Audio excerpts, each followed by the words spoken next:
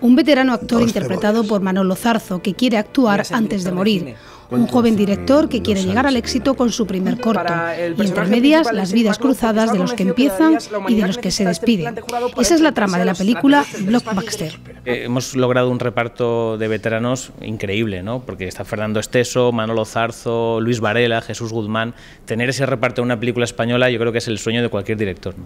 Blockbuster es un homenaje al cine y a los actores y a la magia de las películas donde todo es posible siendo un bonito guion con unos grandes compañeros, pero es que la hemos rodado en 21 días la película.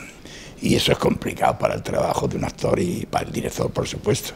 Pero la dificultad está en la televisión, en el teatro y en el cine.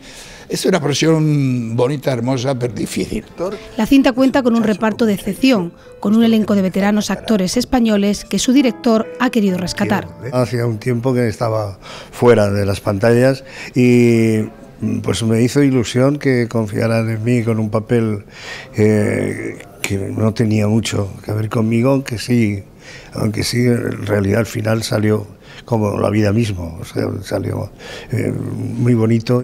Una película de estreno exclusivo en Jaén, ya que no se ha visto aún en ninguna sala comercial de España.